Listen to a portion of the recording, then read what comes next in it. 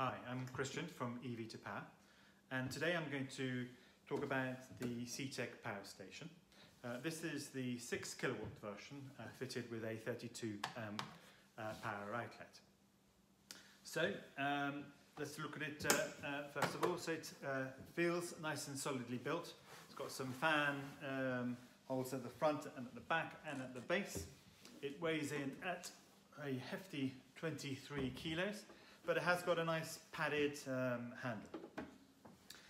So um, it's very simple to use, uh, so uh, there's not that much to, to describe. But first of all, I'll talk about the lead. So the, um, it comes with this, uh, the CHAdeMO uh, lead, and just for clarity, this will only use uh, only work with uh, um, vehicles that use the CHAdeMO charging station charging system. So that's uh, the Nissan Leaf, uh, the Mitsubishi Outlander, and other uh, vehicles that we'll list on on the website. So uh, you take this end and you plug it in. There you go, nice solid clunk. Uh, and then this end is uh, plugged into the into the vehicle.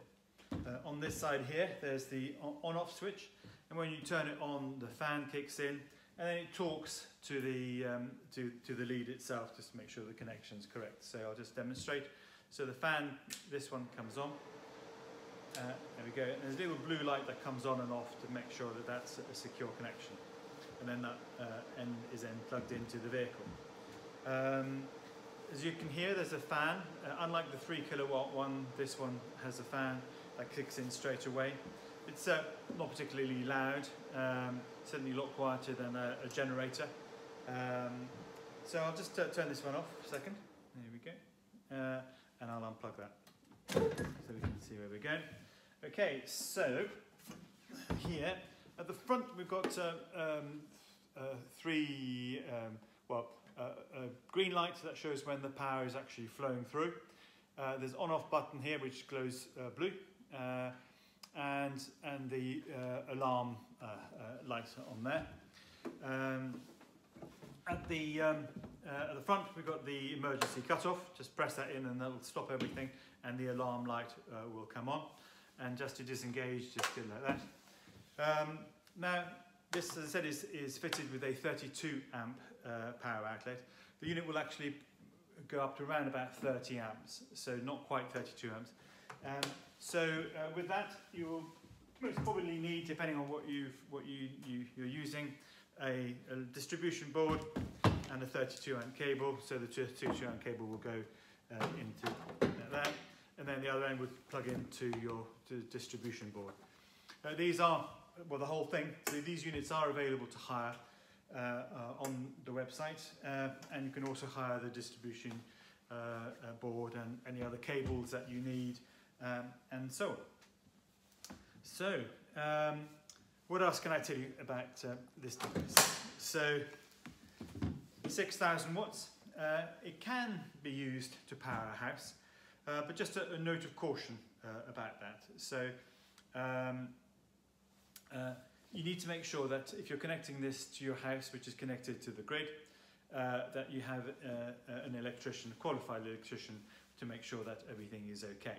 What you don't want to do is during a power outage connect to your to, to your home uh, and then it's connected up to the grid and you're sending power up the uh, up the, the, wires to a, a, a, um, an electrician up the pole, an engineer up the pole, uh, uh, and not expecting power to come uh, through.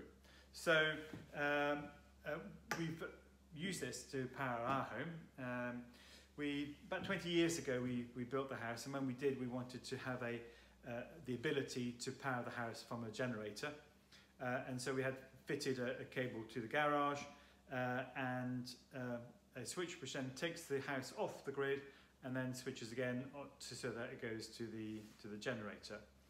Uh, as I say, make sure that the, if you're going to do something like that, it's installed by a qualified electrician. Um, but we found that this, uh, with our Nissan um, Leaf 2015 um, model uh, with a 24 kilowatt hour battery, uh, it was able to charge the house or to, to power the house for um, about a day and a half on a full charge. So just going to do the calculations very quickly. The, uh, the Nissan Leaf has a 24 uh, kilowatt hour battery. Um, it's about five years old, at uh, 92, 93% state of health as it's known. So let's say we can use 20 kilowatt uh, hours um, of, of power. Um, the unit here will stop working, will stop drawing power from the uh, vehicle when the vehicle uh, battery charge is down to around about 30 35%. Um, that means that's for two reasons. One, you can drive away uh, and you're not left with a flat battery, but also um, uh, discharging a vehicle down to, to zero is not very good for your uh, car battery, and, and so that won't, won't happen with this device. Um, so, yep, uh, so we had, so take 30% off that 20, left us with around about 14 uh, kilowatt hours, which is why we were able to, to power the house for uh, about a day and a half when we use about 8 kilowatt hours uh, um, a day.